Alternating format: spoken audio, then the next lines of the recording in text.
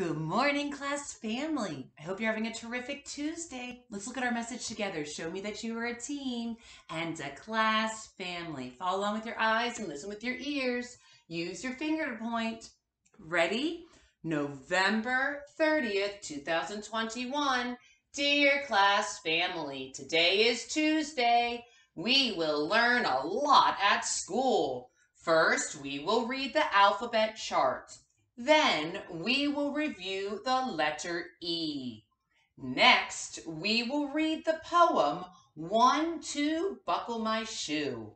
Later, we will play the game, Guess Our Word with syllables. Love Miss Joyner. All right, let's talk about what we're doing today. Do you remember where the date is?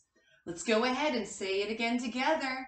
Ready? November 30th, 2021. Today's the last day in November. Do you know what month it's going to become tomorrow? Hmm. Think about it. What month is after November? November, D. December. I heard some of you say it. You're right. We're going to be in December. Let's look at our message and see some of the special things we're doing this morning during language arts. Dear class family, today is Tuesday. Oh, it is Tuesday. It's a terrific Tuesday. Let's look at the next telling sentence.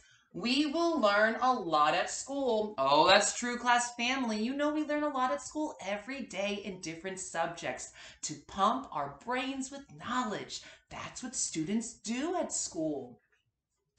First, we will read the alphabet chart. Okay, so starting from A all the way to Z, we'll be reviewing each letter and sound as we say our good mornings to everyone in A, B, C order. Then we will review the letter E. So we will be reviewing the letter E today, like E, ed, e. Remember, when you make a lowercase e, you are going to go across, over, around, and then leave a little space open.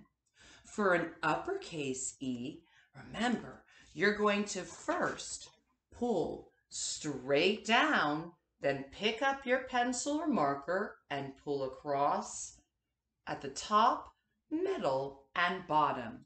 So this one is down, up, across, across, across. We're going to be practicing both the lowercase and uppercase letter E, like E, ed, e.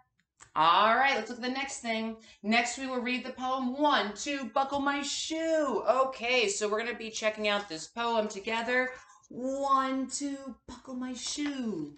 Three, four, shut the door. Five, six, pick up sticks. Seven, eight, lay them straight. Nine, ten, a big fat hen. We're going to be looking at this poem together. One, two, buckle my shoe. And also, later we will play the game Guess Our Word with Syllables. Love Miss Joyner. So we're going to play the game Guess Our Word with Syllables. I'm going to say a word and write down the syllables. And then you are going to guess that word. It's going to be a fun game to help pump our brains with knowledge. Also, today you will be reading books. We're going to be reading pattern books, and we're going to be reading to understand and learn how authors can write with pattern sentences. And during writing workshop today, you are going to be getting your materials and resources, your ABC chart.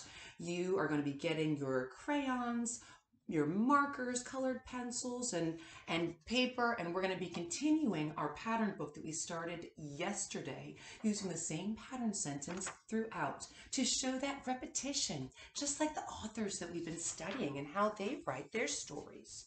All right, let's have a fantastic day. Get your fans ready. Fan Fantastic. Remember, you're going to be a wonderful communicator. Make sure that you speak clearly.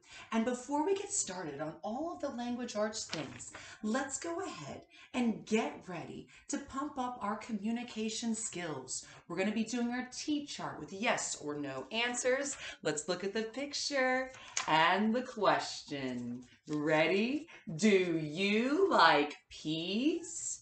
Hmm, well, do you? Do you like peas? Think about what your reason is, and you're going to say yes or no and share why that's your answer. Do you like peas?